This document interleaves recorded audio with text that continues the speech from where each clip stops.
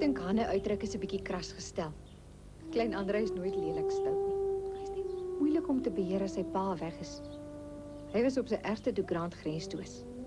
Daai tyd was Grant bevelvoerder van die kommandos en hy het vrywillig gegaan om behoorlik praktiese kennis van oorlogmaak te kry. Hy het geglo dit sou hom ook 'n beter leier maak. Intussen het Andre die tuisfront op sy manier beskerm. Kyk of alles reg is. Is dit reg? Ja, kaptein. Gee my klip. Hier so. Okay.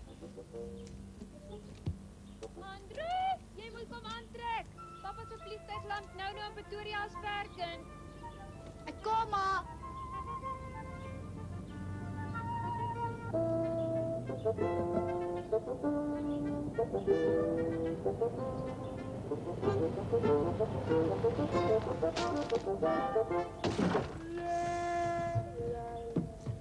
Jy het geskiet onthou hoor. Ag, shut up. Die ding trek links. Daai kitty loop is te dik.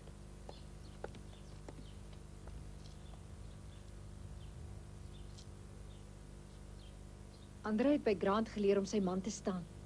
Hy het nooit weggehardloop of skuld ontken as hy kwaad gedoen het nie. Maar hy het soms sy eie weergawe gehad hoekom sy planne verkeerd loop. Middag, Mr. McKay. Sorry oor die venster. My kitty se loop is nog nie reg gebalanced nie. Ja, toe mannetjie. Jou pa is vanaand terug van die grens af. Hy sal met jou afwerk. Sy maatjies. Sy maak al mooi om my pa te gaan haal.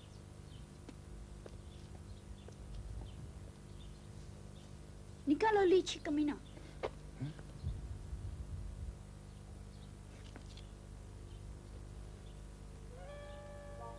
Ja, bonga en tot ziens.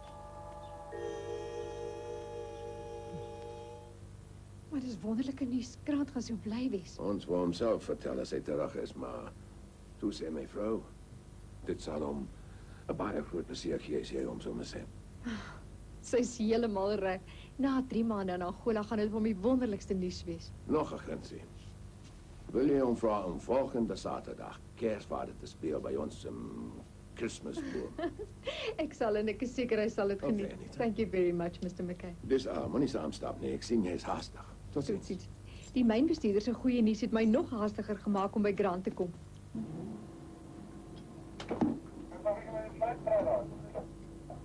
Papa 15 Alpha is klaar om te land, die wind is kalm.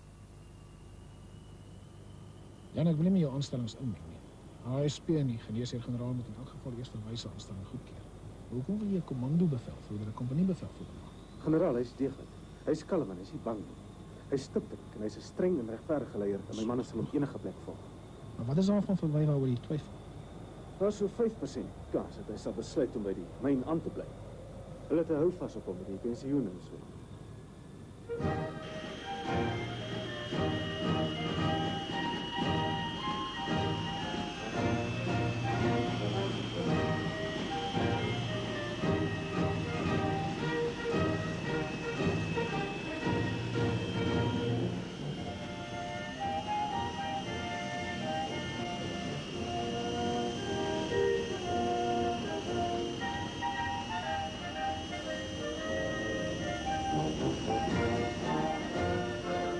Een mens sit by die huis en is bekommerd oor jou man.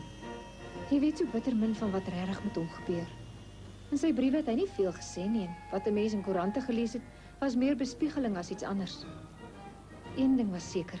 Suid-Afrikaanse soldate het iewers oorlog gemaak en daaroor was Grant baie opgewonde. Hy wou na sy opleiding in die leergimnasium as staandemaglid aansluit, maar hy was medies ongeskik, kleurblind. Maar hy het hom nie daardeur laat afsit nie. Hy het by die kommandos aangesluit en hard gewerk en elke kursus bygewoon. Binne 9 jaar was hy toe bevelvoerder.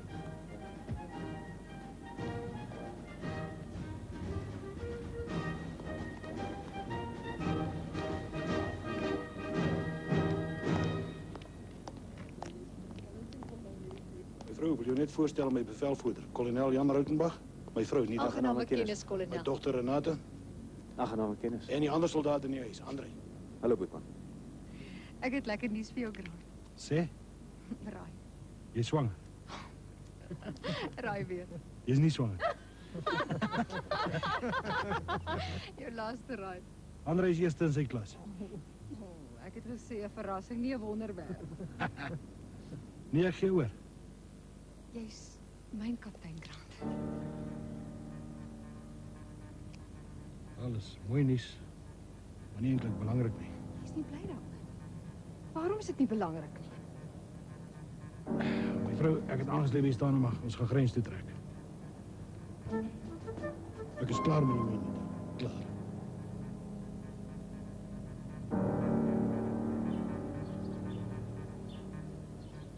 Grant se oupa, sy pa, sy hele familie was myners en hulle wou natuurlik niks weet van sy nuwe loopbaan nie. Boonop was sy suster Chrissy ook met 'n myner getroud. Jy laat toe dat hierdie man jou vertrap. Hy's jou broer, Chrissy. Jy ken hom. Hy dink goed na voor hy besluit. Ja, net vir homself ja, niemand anders het te sê nie, net hy. Nie heeltemal so. O nee. Jy het lank met hom uitgegaan. Hy het jou van kleins af groot gemaak vir sy eie saak. Ek is lief vir hom. Liefde. Wat voel hy vir jou? Vir hom is jy net 'n vloerlap waarmee hy maak wat hy wil. Wat vir Grant belangrik is, is vir my belangrik, Chrissy. Jy weet net so goed soos ek hoe graag hy 'n staande mag soldaat wou wees.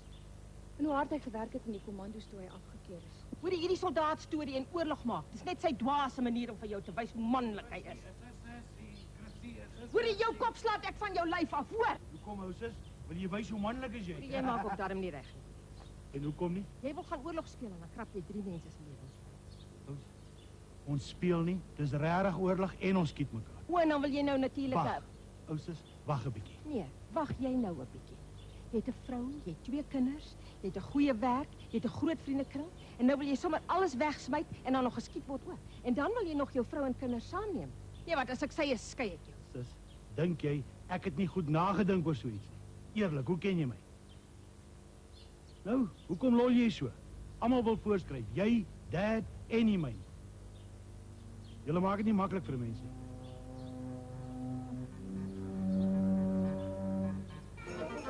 Soos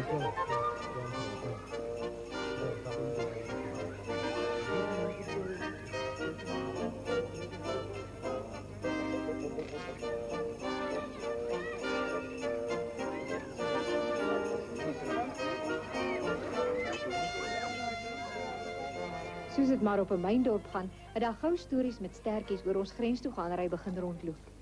Gaan julle in tente bly? Plek is 'n dorp soos Rustenburg. Daar's als, huise, winkels, skole tot 'n klub by die rivier waar mense partytjie hou. My pa se jou pa praat net groot. Hy sal uitchicken as dit by die push kom. Ek het jou al gevoeter, Kas, ek sal weer. Jy was net gelukkig. Dan moet jy maar weer try. Wanneer waai julle? My pa moet oor 'n paar dae daar wees. Ons vlieg as my ma alles klaar het hier. Dis nog nie uitgemaak dat julle sal gaan nie. Die mense groot kop moet eers ja sê. Ons sal gaan. Ek ken my pa. Maar ek en Cornelis wil 'n entjie gaan stap, alright? Maar papi gaan nou nog geskenke uitdeel. Ag, ma, dis net vir kleintjies. Jou geskenk is nie 'n kleintjie nie. Okay, ons sal dan so stap dat ons kan sien as pa kom. Toe, weg is julle. Renata gaan daai mannetjie nog baie mis. Nee, wat sy sal nie. Sy's dol verlief op hom man. Ja, ek weet, maar sy sal in die koshuis agterbly. Hoe so? Daar's nie 'n hoërskool op Roondo nie. Die meeste van hulle gaan kosskool toe op Tsumeb of Grootfontein. Sy kan hier bly naby mense wat sy ken. Die weermag vlieg baie van hulle op vir die vakansies. En volgende jaar vir klein Andre ook. Ja, ek weet nog nie. Jy gaan nog baie verlang. As jy dan gaan. Ons sal gaan. Al besluit die myn ons verloor ons pensioen. Ek kry my ma jammer. Sy lyk vir my goed. Mens sien nie hoe sy regtig voel nie. Dink sy gaan beswaar kry. Ek verstaan jou pa nie. Hy's maklik. Hy het mos die kommandos, hy's mos hulle baas, 'n sergeant of iets. Hy's kommandant platkop. Ja, maar ek bedoel, dis mos nie nodig dat jy op die grens gaan bly sodat hy 'n soldaat kan wees nie. Daarbo is regte oorlog. Dis wat my pa se hele lewe lank nog die graagste wou doen. Nou kan hy. Is jy nie bang nie? Maar wat van hier? Hier werk my pa in 'n myn. Dink jy regtig dis gevaarliker daarbo?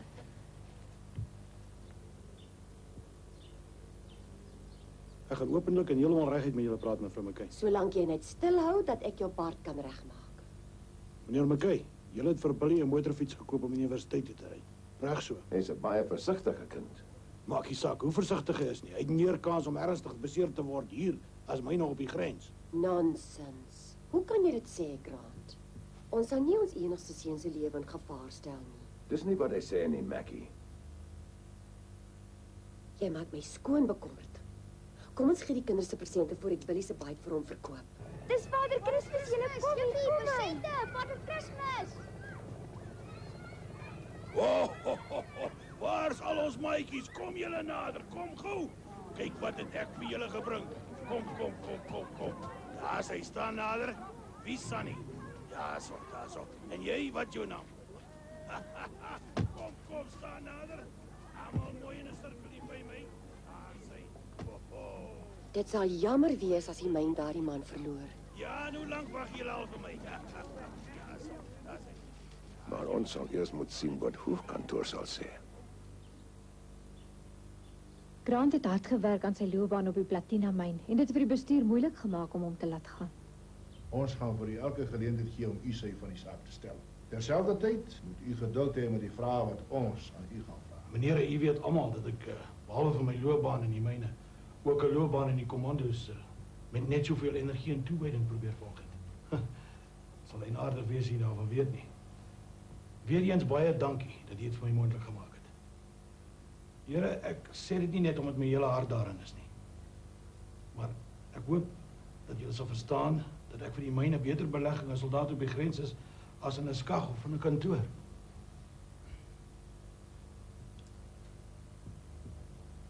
Dit is vir die mynbou net so belangrik dat daar vrede is. En die weermag het daarvoor soldate nodig. Dankie.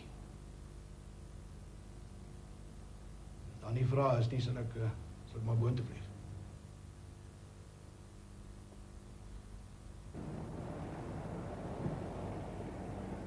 Ek moes in Januarie skielik hospitaal toe vir 'n klein operasietjie, nogal by die militêre hospitaal. Toe bly ek en die kinders maar die eerste kwartaal by Chrissy hulle agter. Grant is net na nuwejaar weg en ek moes die trekkery en ander dinge self reël. Dit was moeilik, want Grant het altyd al ons dinge gedoen. Gelukkig was alles daarom betyds klaar. Ek het net nie uitgesien na die dag toe ons Renate alleen moes agterlaat. Hallo, ek is Rianel. My man is bevelvoerder op Roomdo. En julle moet Grant verwyse gesin wees. Ja. Hy het gevra ek moet op die uitkyk wees vir julle. En jy seker die ouetjie wat moet agterbly in die koshuis? Ja, dit. Ag, jou pa praat baie van jou. Is trots op jou. Jy's in standaard 5, né? Jy Ja, sal in my klas wees. Ja. Ag, toe maar. Ek is nie kwaai as jy nie stout is nie. Dan gaan tannie probleme.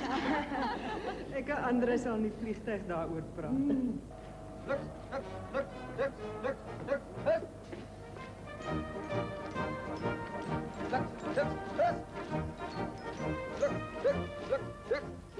Rundo is nes Grant vertel het, maar tog anders as wat mense het verwag het. Dit was duidelik dat Grant hom uitgeleef het, selfs in sy daaglikse kantoorroetine. Binne.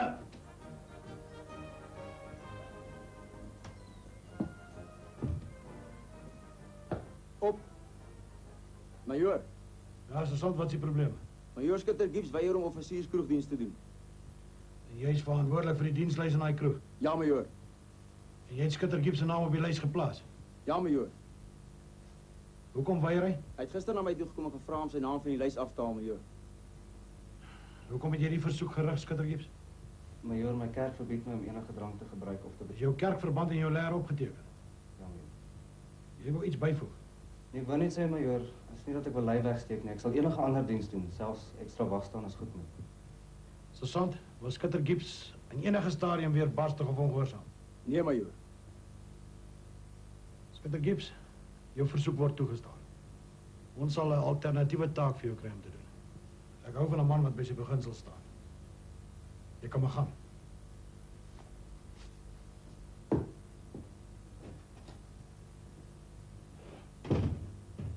Hoe lank is jy nou sergeant? 10 maande, majoor. Nou luister sergeant. Dit was korrek om Skutter Gibbs uh, voor stok te kry omdat hy bevel nie uitvoer nie. Maar jy het 'n ekstra streep gekry om onder meer inisiatief aan die dag te lê. Gebruik daai inisiatief en help my om my taak ligter te maak. Dankie, jy kan maar gaan sergeant. Majoor. Of hy saamgaan of nie, Grant beplan elke operasie haarfyn en deeglik. Sy manne en ek dink seker die vyand ook ken hom so. Ons mans is natuurlik verplig om te swyg, Maar as gevolg van wat op die spesifieke operasie gebeur het, het Grant my meer vertel. Ek dink dit lyk reg so, meneer. Sê vir die manne, daar's 'n ordergroep om 1500 uur. Meneer. Hulle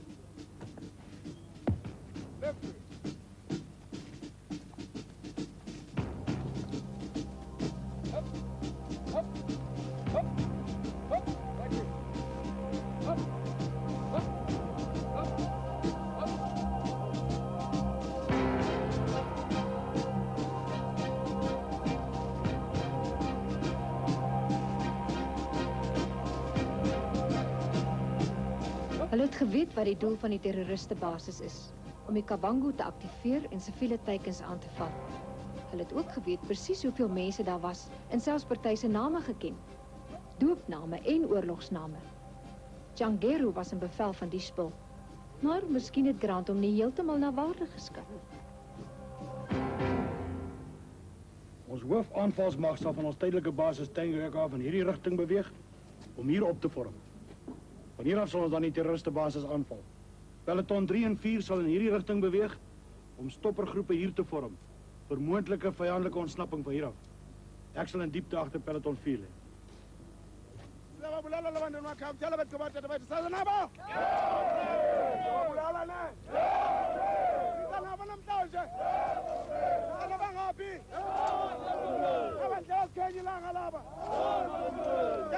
Labantwana emakhaya kutshela bethu kabatata bethu saze nabo babulala ne sisa nabo namhlanje sala bangaphi abadle basikhenye ilanga laba tshela bethu kabatata bethu man bangaphi sanabo Die belangrikste enkele element van die terroristekamp is die paradegrond. Ons ligfoto's bewys dat Changero en sy manne nie net goed gedissiplineerd is nie, maar ook goed opgelei is en goed gemotiveerd is. Maar ons gaan van Changero looi, al kom wat. Lees julle my. Meneer. Ik is net bekommerd dat hulle dalk radioverbinding is. Waarom waar waar waar? Wel soon. Hey, wat jy de ook op raak skryf wat. Okay, wanneer wanneer wanneer wat sê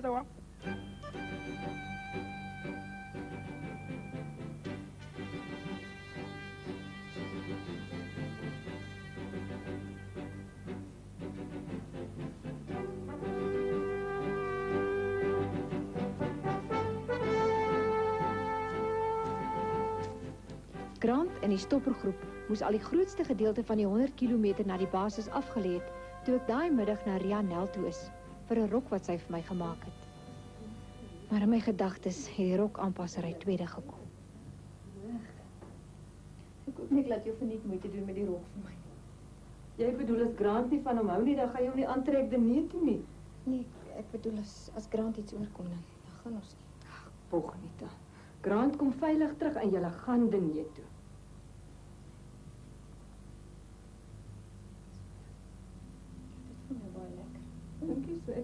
Ek hom nie so oorbring dan maak ons 'n dubbele valletjie. Ek het dit vir mooi voluit gehuur, ja. Dis kom ons steek hom maar kyk ons. Gaan ons so so. Die aand voor Grant weg is het klein Andre se pa behoorlik in 'n blik gedruk. Nita, jy klink al net 'n regte grenssoldaat se vrou. jy praat net die mans in 'n blik druk. maar jy weet, uh, uh, kaptein de Kok se seun het vir Andre gesê dis nie nodig dat Grant saam gaan op die operasies nie. Andre kon dit natuurlik nou nie klein kry nie. Is ook goed dat hy wou uitvind wat aangaan want uh, ek het lankal op hom vra. En wat sê Grant toe? Uh, soos altyd het hy maar mooi verduidelik en gesê dat die weermag meer van hom en sy manne verwag as van die ander eenhede. Nou ja, dis wat hy homself en sy manne so druk. En Andre, was hy daarmee tevrede? Heeltemal. Dis mos nou 'n verwy eienskap, joh. en jy, was jy tevrede? Mels het nie verlief gemaak op hom. Ja, Nita, maar dit is nogtans nie lekker om te weet 'n mens se man is waar hy geskiet kan word nie. Ek moet hom seker maar ondersteun. Dis net die spanning vir my so vreemd.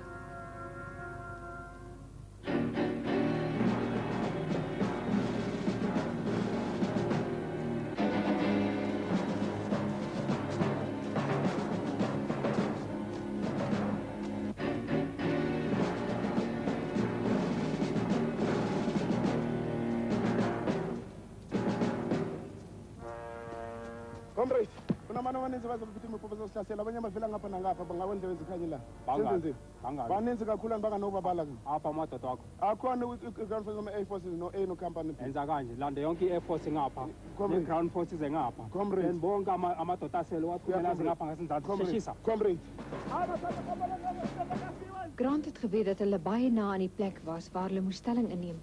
Maar hy het nie geweet dat van Tangero se manne op daai oomblik alreeds gelê en wag het vir sy hoofaanvalsmag nie. Die hoofaanvalsmag het die basis vanuit 'n ander rigting genader. Moeroep het 'n ander klomp van Tangero gereed gemaak om enige aanval uit die suide te keer.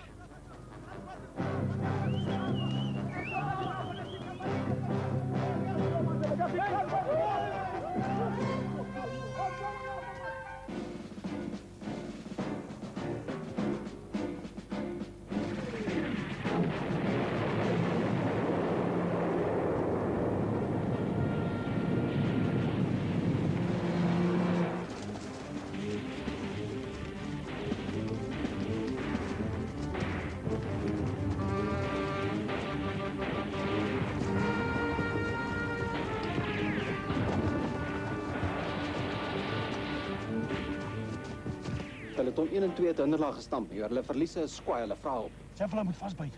Ons kom. Verander rigting.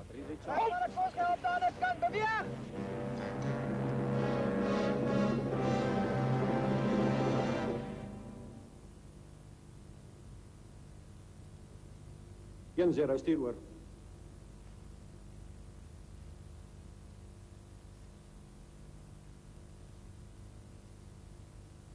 Een zero staan by. Kolonel. Ja. Dankie. verwys mense het in hulle geslaan Een zero stuur oor. is dit die majoor Kolonel. Een zero Roger Wright. Major is op pad om hulle te help. sê die lugmag moet die choppers gereed maak Majoor verwysel hulle Zero een, zero berig oor. Jankero het ons verwag hy het dit geweet Doop!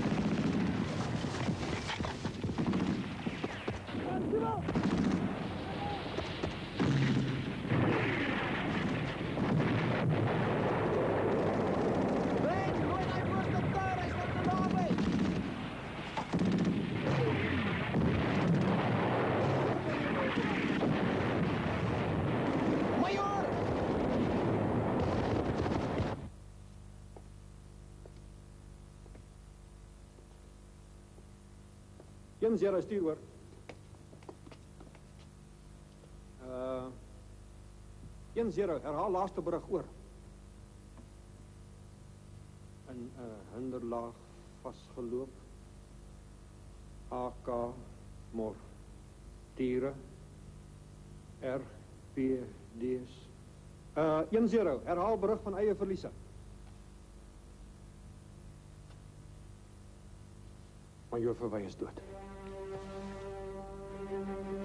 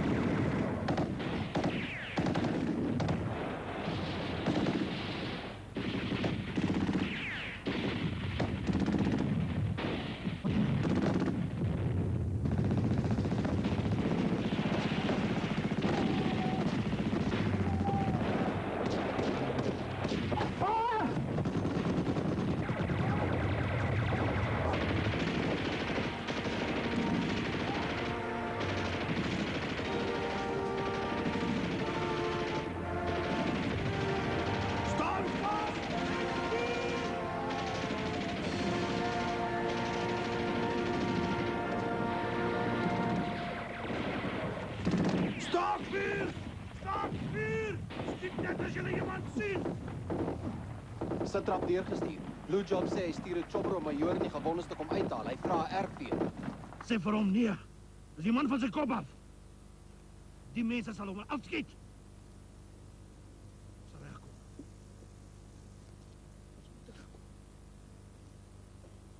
Ek bly net hier. Sê vir hom. Majoor, gou kyk na daai nek vir jou. Dit lyk nie mooi nie. Dankie, dokter. Daar's van die manne wat jou aandag en jou verbande nodig het as. Hoe lyk dit? Daar's 'n hele paar wat ons moet terugdra, majoor. 'n Hele paar. Gaan help die manne wat nog miskien kan terugstap. Dadelik. Reg, majoor. Medic, kom verbind die majoor. Sê vir peloton 1 en 2 hulle moet terugval tot by Kiepershol. Peloton 3 en 4 moet dekking gee. Raal die manne uit. Is dit duidelik? Almal moet uitgehaal word. Majoor Grant Verwy het onder reeds beproewende omstandighede 'n minachtende houding jeens sy eie pyn en ontberings ingeneem. In die proses is 'n sterker vyand se wil om te veg gebreek. Majoor Verwy het hom sodoende onderskei as 'n leier wat die honoris crux met trots kan dra. Hy's tuis soos 'n ratel, kolonel. Hy het meer as dit nodig. Hy's nog nie uit die moeilikheid uit nie. Hy sal almal uitkry, kolonel. Choppers word in nood. Ek hoop jy's reg. Hy is harakwas genoeg. Hy sal, kolonel. Al is dit net om Tjangere te wys.